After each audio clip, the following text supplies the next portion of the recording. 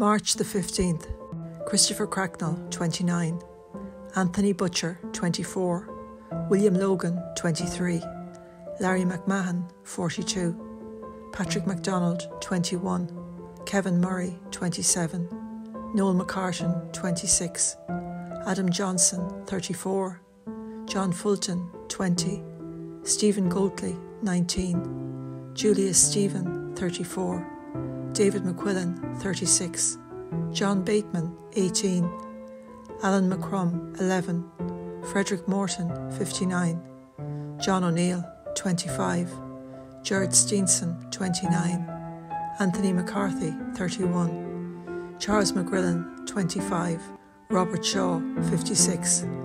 Barbara McAlorum, 9, David Keys, 26, Rosemary Nelson, 40, Adrian Ismay, 52.